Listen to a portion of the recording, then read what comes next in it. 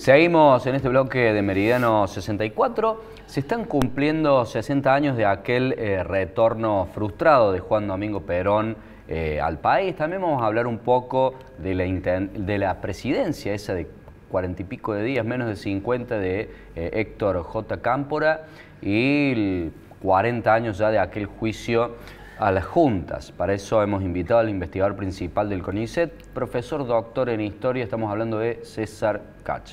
Profe, ¿cómo le va? ¿Qué tal, Gabriel? Un gusto estar contigo. Eh, un gusto recibirlo. Buenas noches, profe. Bueno, a ver, este, me estaba contando que el viernes a las 5 de la tarde tenemos la presentación de un libro.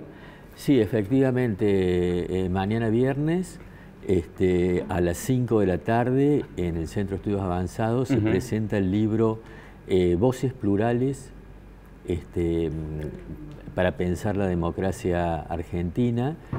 Eh, que es un libro em, que contiene, coordinado por Hugo Quiroga, que es un gran politólogo eh, rosarino, este, y eh, que contiene, bueno, en primer lugar, una cosa muy rara, porque el primer texto es nada menos que de Julio Cortázar, el escritor Julio Cortázar, que en 1981 él inaugura un simposio eh, sobre los derechos humanos en, Argentino, en Argentina, eh, en París, en Francia, en, el, recinto del Senado francés, él hace la introducción eh, y ese texto que había permanecido oculto, digamos, en el tiempo, fue recuperado, se consiguió que el albacea de los textos de Cortázar autorice su publicación en Argentina. Bueno, tiene ese texto de Julio Cortázar, tiene un texto del historiador francés este, Alain Rouquier, que yo creo que Alain Rouquier es uno de los, junto con Robert Potash, los dos mejores especialistas extranjeros sobre la Argentina contemporánea. Seguramente va a estar apareciendo en el, en el Zócalo y que sea con éxito. Muchas eh, gracias. Profe, a ver, eh, lo decíamos recién en la presentación del programa, se están cumpliendo 60 años ya de aquel eh, retorno frustrado de Juan Domingo Perón Argentina, quedó allí en, Brasil, si nos puede dar los detalles y comentarnos cómo fue esto. Claro, digamos, este, con el derrocamiento y exilio de Perón, eh, Perón se le presentaba un gran problema y era que muchos peronistas querían este, reemplazar su liderazgo este, aprovechando que no estaba en Argentina.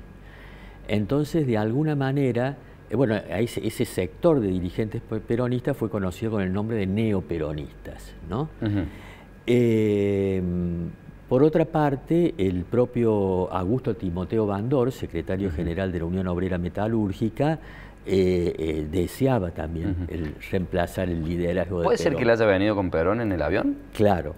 Entonces, en el año 1964 eh, se, arma el operativo Retorno, del cual participa el propio Bandor, pero también otros, otros dirigentes peronistas.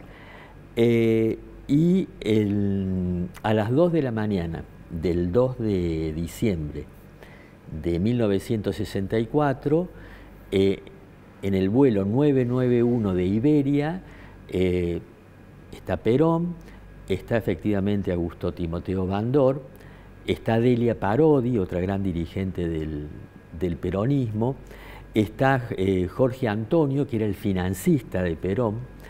Eh, había cinco, dirigentes peronistas que lo acompañan. Eh, pero el avión debía, en esa época estamos hablando del año 64, hace 60 años, para llegar a Buenos Aires debía recargar combustible en Brasil. Claro, no tenía la autonomía para hacer el viaje.